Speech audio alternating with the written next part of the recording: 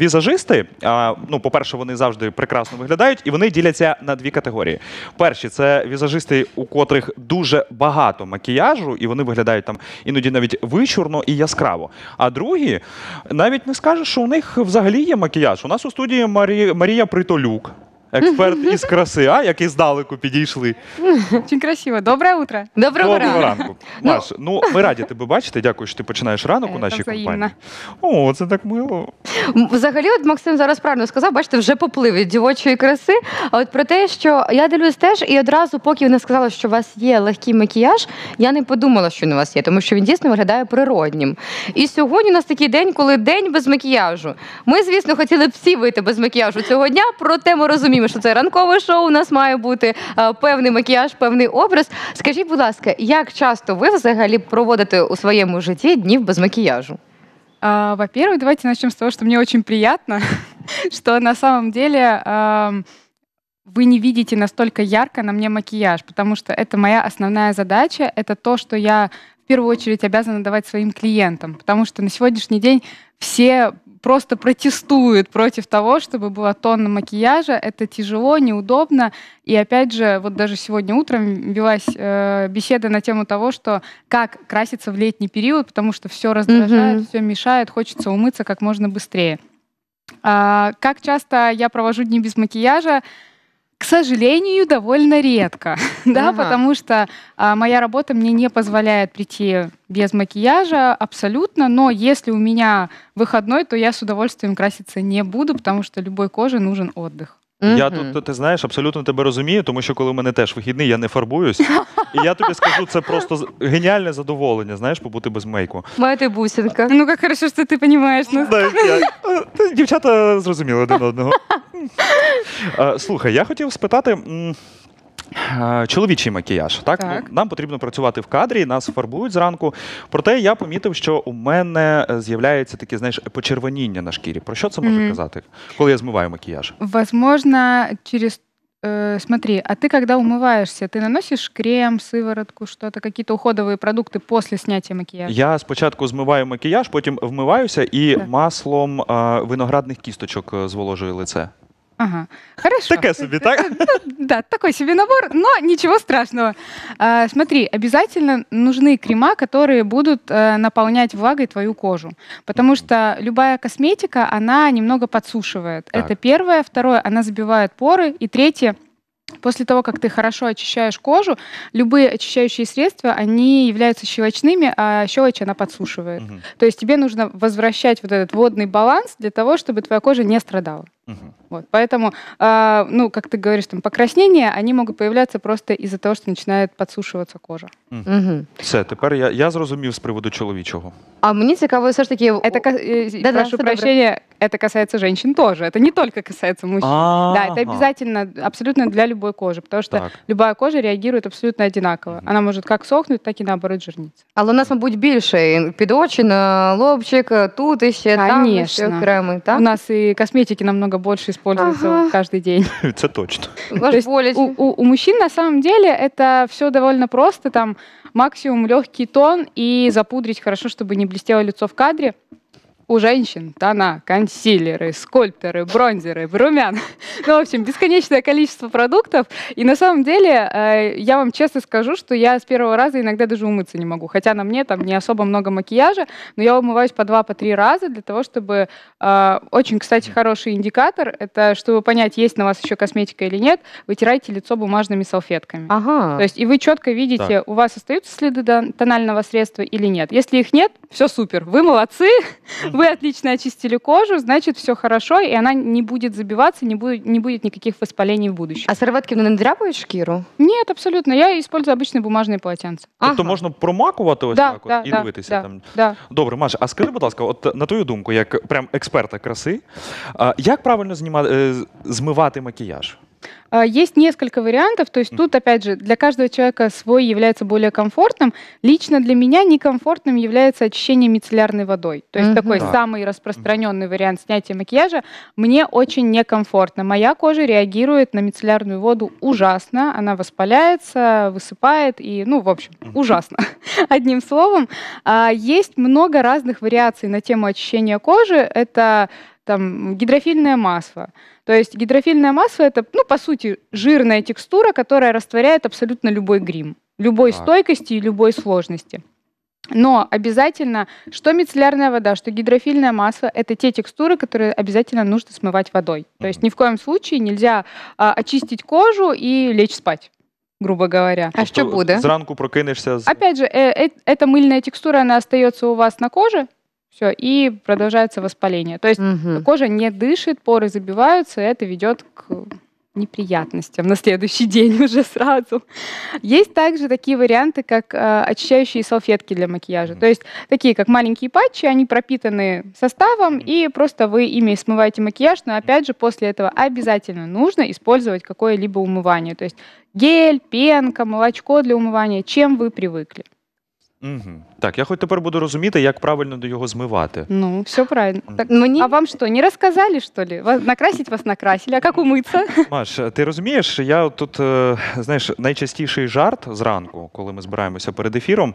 Макс, іди фарбуватись. Ну і мені, типу, усвідомити те, що мені потрібно ще й фарбуватися, трішки складно навіть а зараз. потім ще запитати, а як правильно змити макіяж, йому ще складніше. Ну, ти, Ось. ну, ти розумієш, ти заходить мужик бородатий в гримерку, Так. дівчата змивають макіяж, і ти такий. м, А подскажите, пожалуйста, а как мне сейчас И- и- смыть ресницы? Маш, воно так і виглядає. Я у, у дівчат гримерів питаю, дівчата, можна питання? Такі, ну, як правильно змити макіяж? И так Що? тихонько, тихонько, так, только никому не говори. А вони макіяж від нас мить. А, ну так дивись, отак. Маш, ти що, фарбуєшся? І все, і, і вже буде. Ты опять пришел накрашенный. Взагалі, ось ми зараз класно говоримо про макіяж, і ми маємо декілька варіантів, які зараз виведемо на екран. А це щось наближене до натурального, до нюдового. Е, Хочеться вашу експертну оцінку. Що занадто, що нездраво, а що нормально. Так, Ось тому зараз ось перший макіяж. Так, ну, как по мне, замечательный макияж. Ну, конечно, насколько мое зрение позволяет мне видеть. А, я вижу достаточно большое количество сияния на коже. То есть, в принципе, это свидетельствует о том, что человек сразу же выглядит более отдохнувшим. То есть каждая девушка хочет сияющую кожу, да, чтобы она просыпалась и выглядела просто супер Да. отдохнувшей, восстановленной, как будто только с отпуска. Мгм. Вот. А в этом нам помогает хайлайтер. И второй момент — это румяна. Мгм. Румяна, они могут сделать даже самого уставшего человека просто супер выспавшимся. Поэтому это те два продукта, которые помогают нам выглядеть круто, здорово, красиво каждое утро, каждый день. И, в принципе, против этого макияжа абсолютно ничего не имею. Отличный макияж на каждый день. И, кстати говоря, такую базу можно легко адаптировать вечером, если появились там планы пойти куда-то отдохнуть с друзьями. Легко можно добавить там либо акцент на глаза, либо акцент на губы. Но Мгм. только что-то одно. А от е, війки я зараз бачу, що Так. дуже популярно, коли їх ну от, неначе кісточка доторкнулася і відкинулася кудись. Дуже легко. Це зараз так теж трендово, так? Да, на самом деле сейчас уже нет такого тренда на какие-то 15D нарощенные ресницы, чтобы побольше, э, погуще. То есть этого уже нет, и очень хорошо, потому что с ними тяжело моргать. На самом деле очень сложно открывать с ними глаза, вы все это чувствуете. А, Поэтому сейчас даже больше в тренде не наращивание ресниц, а ламинирование. Это процедура, которая ваши ресницы просто создает искусственный изгиб. Угу. То есть э, классно, удобно, можно не краситься тушью. Ну, в общем, не, не процедура, а мечта. Угу. Клиенты любят ее там перед отпуском, когда вообще не хочется краситься. До речі, так, перед е, відпусткою це важливо. Не Я хочеш по собі фарбуватися, знаю, да? там- Да, ну не хочется, конечно. Брови покрасили, ресницы заламинировали, все, поехали на лыжи. До речі, от з бровами це дуже класна річ, от ви зараз сказали. Ну теж є там ламінування, якось їх вкладають. Да. От ну я просто те, що я роблю, я помадкою підтушовую Мгм. і все, бо в мене вони такі не досить густі. А, що зараз ось в тренді теж до натуральності? Бо мені здається, у вас зовсім інший тип о, вкладання, чи я не розумію. Э, Вкладание, укладки самих бровей, Да, да, вы да. имеете в виду? А, На самом деле с моими бровями сейчас не сделано абсолютно ничего. Да. Они не покрашены, они не заламинированы. Это тот случай, когда сапожник без сапог, когда а, можно назвать это тем, что я иду а, по стабильному пути к натуральности. Не покрываю ногти гель-лаком, ничего не делаю с бровями. В общем, такие моменты. На самом деле это все не потому, что я против этого, а просто потому, что не хватает времени. Ага. Вот. Кому подходит процедура ламинирования бровей, кому она нужна? у меня, если рассматривать на моем примере, волоски растут наверх и Мгм. по росту. Мгм. То есть у меня нет явно выраженной проблемы, да, что мне нужно изменять рост направления волоса. А есть клиенты, у которых сами по себе волоски растут вниз, Мгм. да, и визуально у меня бровь что делает? Мгм. Опускается, да. Мгм. Естественно, клиент сразу выглядит грустным, угрюмым, да, не очень довольным. Мы, кстати, говорили уже об этом. Так. Мы и, и игрались с вами на, прошлой, на прошлом Ну, эфире. це, бу- це було е, поганий, злий троль. Добрий троль. Да, да, да, да, да. Так и добрый было. краще. Так. Тролль. Однозначно. В общем, и с помощью данной процедуры мы можем с вами изменить направление волоса, соответственно, визуально приоткрыть глаза. Да, и клиент выглядит уже совсем иначе. Мгм. А, поэтому данная процедура, она, я ее советую по надобности. То есть нет такого, что все, она нужна всем. Мгм. А если мы говорим про моделирование и окрашивание бровей, это то, что вы делаете каждое утро, да, там, подрисовываете помадкой, например. Помадка — это из вариантов эм, макияжа на каждый день, это самый стойкий вариант, потому что есть также варианты прорисовывания карандашом, тенями. Ам, Помадка — это самый стойкий вариант, то есть с ней можно и в бассейн прыгнуть, условно говоря, там все, все что угодно, и проходить весь день, и она продержится. Но если у нас есть задача ехать в отпуск, либо вообще ничего не делать с бровями, то их можно просто покрасить. Мгм. Вот, то есть, А и, чим краще фарбувати? Э, ну, есть варианты, есть Хна краска, фарба? да, есть краска, А есть краще? хна. Э, я против хны, да, не против какой-то конкретной, а против любой, потому что на данный момент на э, косметическом рынке нет натурального продукта. Мгм. То есть это все только называется хной, а, к сожалению, по факту внутри есть химический пигмент. да, Мгм. и процент его не контролируется и в результате вызывает аллергию. Поэтому я все-таки за краску, в которой прописано конкретно количество данного пигмента, и я понимаю, на что я иду. Мгм. Да, то есть просто есть установленные нормы, и э, любой продукт должен получать сертификацию. То есть я люблю работать на продуктах, с которым у меня потом не будет проблем, можно так сказать. С несертифицированной продукцией я не работаю, и все, кто меня смотрит из специалистов, вам тоже не советую. Е, дозвольте, я увійду в чат. Будь ласка, заходьте. Все ж таки хочеться продовжити тенденцію брів у чоловіків. Так. Це також індивідуально. Чи є, можливо, якісь канони краси, яких, можливо, треба дотримуватися? На самом деле основна основная задача при работе с мужчинами э, в процедуре моделирования бровей – это сохранять натуральность. Так. Все. Это основное. То есть все, что я должна сделать, это убрать лишние волоски, которые визуально делают тебя более там неопрятным, можно так сказать. Приоткрыть глаза, но ни в коем случае я не буду делать никаких графичных линий, а, идеальной формы, вот как у женщин. То есть в этом нет никакой потребности. Естественно, если в этом нет потребности конкретно у моего клиента. Да. То есть, а в остальном работа с мужчинами, честно, сплошное удовольствие. Вообще. О, Ну, серьезно. Поняла, Тара? Вы, во-первых, во-первых, вы уже приходите красивые, да? Вас нужно только чуть-чуть, чуть-чуть вам помочь. А, добре, Маш, дивись, тоді, якщо я приходжу до тебе в салон, Так. до речі, вітаю, ти нещодавно відкрила салон. да, краси. спасибо большое, Так. очень приятно. А я приходжу, кажу, «Е, мені потрібна Марія Притолюк. Так, Кажу, доброго, доброго ранку. Маш, зробіть з мене красу. так. А я вам знаете, что отвечу? Що? Вы уже краса. О, І Макс бере, одягає окуляри і виходить. І, Ну. і Макс просто на крилах успіху, так, ну все, можна підкорювати світ.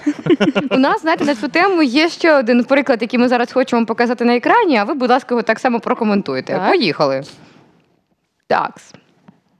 Ось у нас брівки, тут акцент на брівках. Мгм. Е, Ну і теж такий природній макіяж. Що ви скажете? А, да, но здесь мы должны с вами оценить то, что у нас цвет волос у данной модели достаточно светлый, да, и идет м, насыщенный акцент на брови, то есть брови достаточно затемнили. Угу. А, Что я хочу сказать, что это не всегда уместно. То есть это уместно только в том случае, чтобы повысить контрастность нашей модели.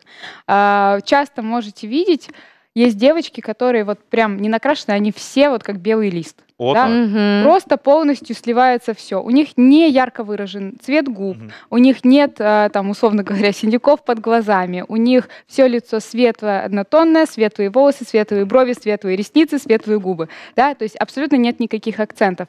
Это тот э, тип девушек тот тип внешности, в котором абсолютно нельзя ни при каких обстоятельствах делать яркие темные брови. Потому что кроме бровей видно больше ничего не будет. А, які А може, потрібні то так тоді задумано? брови? Максимально натуральные. То есть если она светленькая, у нее брови могут быть только на один, максимум два тона темнее цвета волос. Мгм. То есть если она блондинка, у нее брови могут быть русыми, но никак не темно-коричневыми. Мгм. Да, то есть мы должны обязательно это учитывать.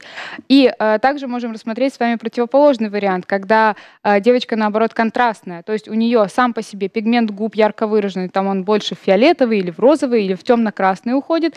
Присутствует не- небольшой пигмент под э, глазами в преорбитальной зоне. Это означает, что у нее э, тип контрастности другой. Цветотип это в основном либо лето, либо зима, когда контрастные волосы, да, более светлая кожа, ярко выражен пигмент губ.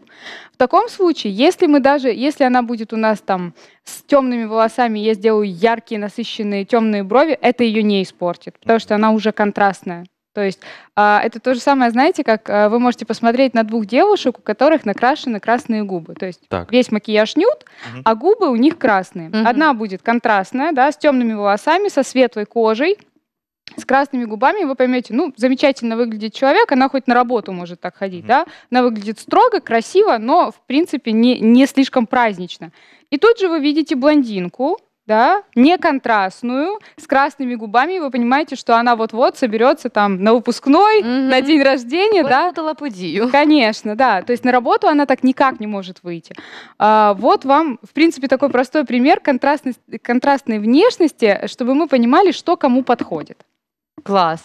І ми маємо ще одну картинку. Ми не О. можемо їх сьогодні минути, тому що говоримо про макіяж. І, Конечно. на жаль, у нас з Максимом два тільки види макіяжу, а там іще плюс три. Наступна картинка, будь ласка. Так, О, слухайте, а мені подобається. ну, потому что выглядит замечательно. Так. Смотрите, что здесь сделали.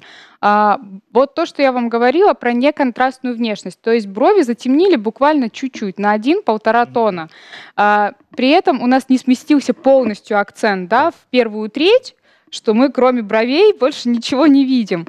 А с бровями поработали отлично. Далее, никакой скуловой коррекции в данном случае не присутствует, то есть ей не добавляют теней, ей добавляют больше румян, а румяна — это объем, то есть хайлайтер — это свет, румяна — это тоже свет, это все работает на объем. Соответственно, если мы посмотрим, у нас получаются такие, как щечки. Так. Да? А, Любой человек, когда смотрит на там, партнера, а, у него подсознательно понимание того, что есть такие вот розовые щечки, если есть сияние, это означает, что он отдохнул, да, Мгм. что он здоров, что он себя хорошо чувствует. Вот. Именно этого эффекта и добились в данном случае. То есть добавили тот же самый пигмент, который у нас в зоне щек, добавили на губы. Соответственно, она уже не выглядит достаточно бледной, да, то есть она выглядит хорошо, здоровой, красивой, там вот только выспалась. А за рахунок чого це ось можна такий макіяж зробити? Які там мають бути ну, там, ну, е, прилади для фарбування, тому що мені здається, там трішки і губки. Смотрите, все очень просто. Сейчас буквально за одну минуту я вам раз- разложу весь макияж. Смотрите, после нанесения дневного крема, так как базы я не люблю, особенно в летний период, они очень утяжеляют кожу, наносим тональное средство, далее наносим консилер, если он нужен, если ярко выражен синяк там под глазом, либо там какие-либо имперфекции кожи. А далее обязательно фиксируем это легкой пудрой, хайлайтер и румяна. Все. Мгм. На этом все закончилось. Для этого вам нужно ровно три кисти и те продукты, которые я перечислила. Мгм. И 10 минут. Клас. Все. Я записав. Записав, будеш робити? Так, Завтра проверю. я все. все. все. Маш, скажи, а зараз, от е, наскільки я помічав, серед дівчат модно малювати ластовиння, віснушки. Е, чи- Як от взагалі, згідно останніх трендів, їх варто замальовувати, замальовувати чи все ж таки малювати? А, вы знаете, это как с волосами. Если Я- ровные накрутить, если кучерявые так, разумею. выпрямить. А я ніколи не розумів, навіщо це робиться, до речі. Я объясню. А, Девочки с веснушками, они имеют, скажем так, свою харизму. Это Да. является таким своеобразным колоритом, Мгм. да, потому что это, э, ну, условно говоря, там одна на 10 человек, если не на большее количество людей. А, Это выглядит здорово, круто, это выглядит очень эм, натурально, это выглядит очень ярко на съемках. Но в повседневной жизни, честно я вам скажу, что э, клиенты, у которых есть веснушки, они приходят с задачей их перекрыть. Люди, у которых нет веснушек, приходит задача их нарисовать. Все просто. Все просто. Потому что те, у кого их нет, они не понимают, как сложно жить с пигментацией, да? Что вы ее пытаетесь закрасить, вы не можете. Люди, которые с ней живут, они это прекрасно понимают. Они видят свои фотографии, на фотографиях все круто, здорово, классно, в жизни нет. А люди, у которых их нет, смотрят на фотографии и думают, класс, тоже так хочу. Да? У Давайте мене ще є таке запитання. Просто мені завжди розповідали про те, що тональний крем він якби шкодить шкірі, тому що він забиває пори, Так. як, як додатковий е, такий, не знаю, Слой, маска. Так. Конечно. Але е, дуже зараз часто чую від е, різних там експертів б'юті, не знаю наскільки вони якби компетентні в цьому питанні, але те, що потрібно, е, є якісь крема з тональною основою, які по суті захищають зараз шкіру від того, що є багато зовнішніх подразників. І от у мене запитання: тональний крем це добре чи погано? І коли його потрібно використовувати? Смотрите, я вам даже расскажу одну историю. Э, Я раньше всегда, э, когда куда-то ездила, там, неважно, самолет, поезд, автобус, я всегда считала, что нельзя краситься в дорогу, да, потому что это же я столько часов буду с косметикой на лице. И м, буквально последние, наверное, два-два с половиной года а, я намеренно специально крашусь, когда я э, куда-то лечу либо Мгм. еду, потому что вы понимаете, какое количество пыли, грязи и всего остального а, там, не знаю, летает, садится на кожу во время нашего там перелета либо Мгм. поездки. Мгм. То есть очень большое количество.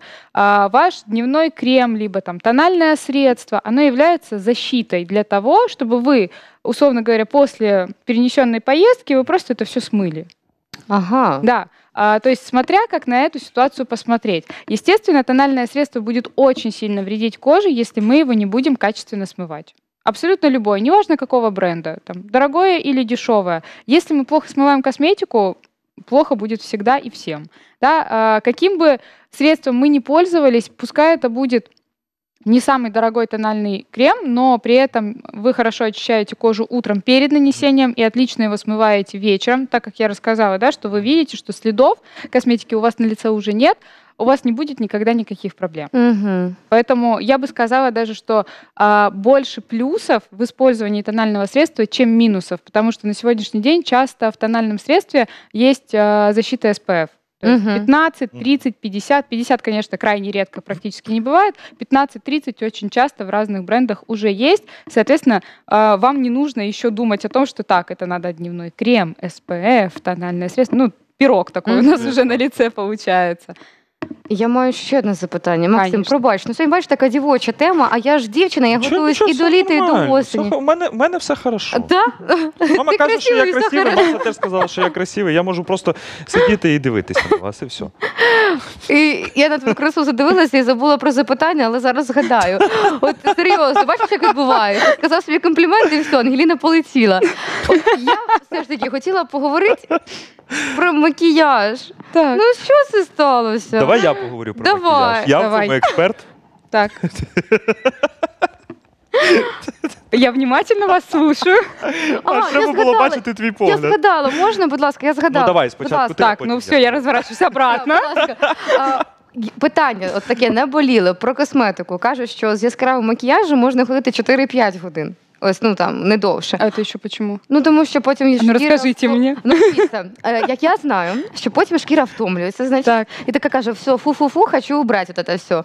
Ось, але ось якщо, наприклад, з легким макіяжем, скільки можна ходити? Ну, щоб це не шкодило шкірі, щоб це якось е, не втомлювало її.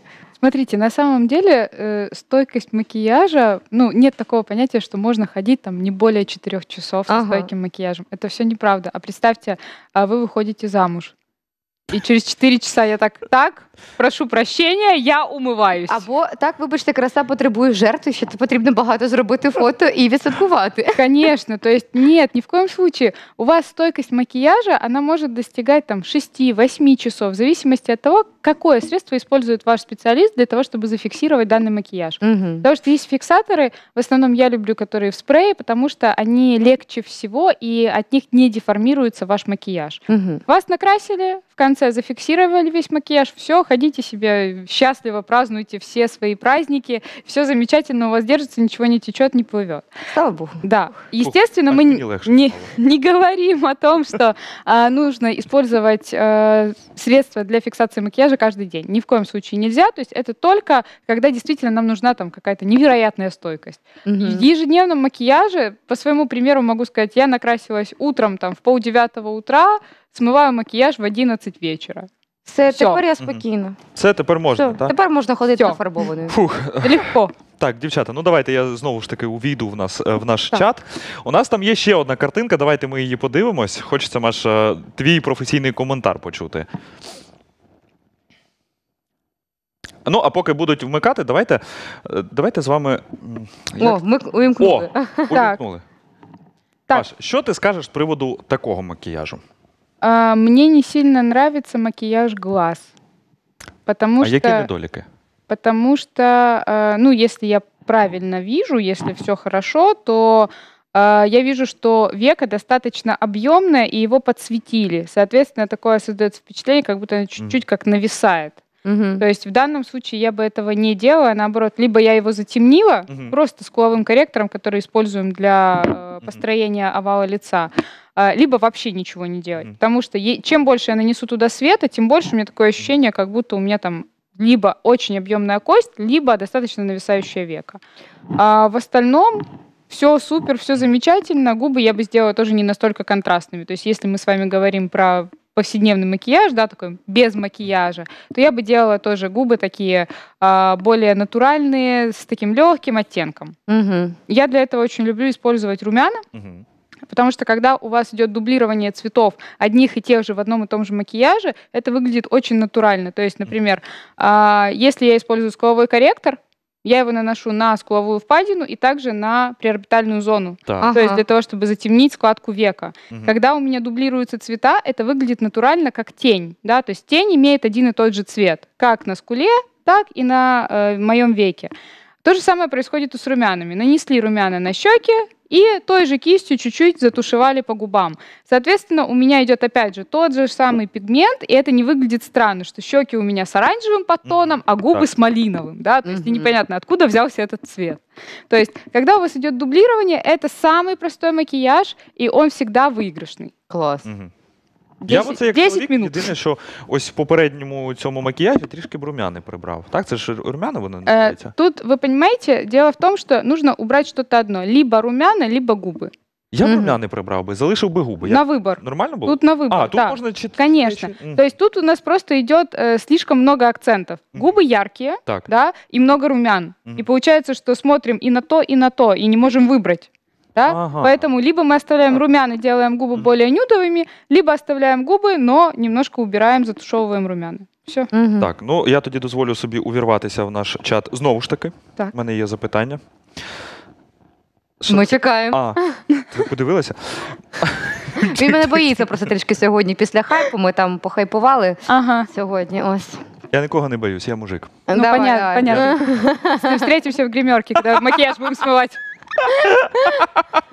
Уже страшно. А, Маш, ми сьогодні поговорили про взагалі тренди макіяжу, Мгм. так, розібрали декілька моделей. І хочеться від тебе от, твою експертну думку почути. А, на який макіяж звертати увагу дівчатам, аби класно виглядати? Ну і пацанам декілька порад, щоб нормально виглядати, щоб відчувати себе на всі сто. Я даже на секунду подумала, что ты спрашиваешь, на какой макияж мужчинам обращать внимание, чтобы не ошибиться в выборе девушки. Я теж про це Я даже, подумала да, я просто. даже так А, подумала, что такой ого. был вопрос. А це буде також цікаво. А, ну, давайте тогда сразу разберем этот вопрос. На самом деле здесь все очень просто. Если вы видите, что ваша девушка, ну, не ваша, да, а просто девушка, которая вам понравилась, а, красится прям чересчур, слишком много, то задумайтесь, Мгм. да, потому что, а, ну, возможно, что-то не так, в первую очередь, там, в каком-то восприятии себя, Мгм. да, то есть э, любой, ну, возможно, да, потому что э, за счет большого количества макияжа человек пытается немножко себя переделать. То есть моя, э, скажем так, задача вообще во время всей моей работы, всей практики — это улучшать человека, а не переделывать. То есть ни в коем случае я с помощью макияжа не пытаюсь создать другого человека. Да, то есть мне очень важно подчеркнуть те достоинства, которые уже есть. Например, там не очень большие глаза, но достаточно большие объемные губы. Так я не буду э, скрывать губы, да, я подчеркну то, что у нас уже есть, и немножко доработаю то, что небольшие глаза. Я их немножко увеличу визуально. Но я ни в коем случае не буду рисовать там новый здоровый огромный глаз, да, и губы побольше и все остальное. То есть а, наша основная задача это во-первых, научиться себя воспринимать, да, потому Так. что на самом деле все люди красивые. С кем бы я ни работала, я честно, вот за 9 лет практики я не встречаю ни одного некрасивого человека. Боже, як це прекрасно звучить. Ну, ну нет таких людей. Мгм. Просто смотря, как на это посмотреть. Да, то есть э, идеальных, конечно, тоже не существует, но, но и некрасивых нет. Мгм. Тобто кожен красивий по-своєму. Конечно. Я от ти знаєш, зараз щось сидів, слухав тебе і так подумав. От е, сидиш ти, наприклад, десь в ресторані, так бачиш дівчина, прекрасний макіяж, все Так. ідеально. Ти так підходиш. Е, Дівчинка, я вибачаюся, ви випадково не у Марії Притулюк обслуговуєтеся? Вона така, так, і «Пф, виходь за мене. Під'їхав на Ну, білому коні. Э, ну, в принципе, я готова за это платить процент.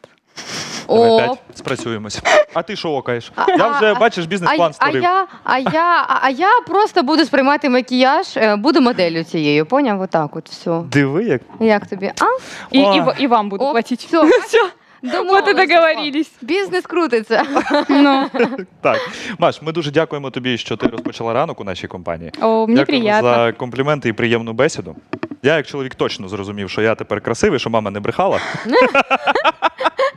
Я рада, что я вам сделала такое хорошее утро, потому что Так. с вами тоже очень комфортно. Я очень рада всегда к вам приходить в студию. У вас очень здорово, душевно, весело, классно. Ну. Поэтому я с большим удовольствием. Ма, Я навіть зараз- безмежно приємно. Я зараз Ну. навіть була б не проти, якби в мене макіяж від сліз потік. О. Я не можу цього Боже, зробити. давайте Мы, обнімемось. мы дівчата, все, що ми сидимо? мы все поправим. О, Боже, які ви класні. Бачите, От бачите, я за це обожнюю свою студії. роботу. Так, Ну. у нас у нас робота класна. Класні люди приходять, класні теми піднімаємо. Е, ще раз вам дякуємо сердечно. Е, тепер дівчата всі будуть красиві е, з натуральним макіяжем. Дівчата намотуємо собі сюди на думочку.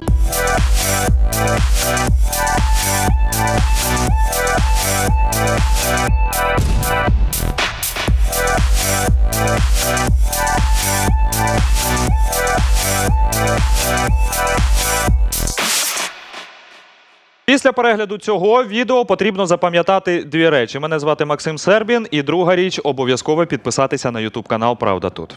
Ну, мене звати Ангеліна Таран, і ми дякуємо, що ви завжди з нами. Ми намагаємося робити так, щоб ваш ранок був незабутнім. А цікаві інтерв'ю вас чекають на нашому ютуб каналі. Підписатися обов'язково.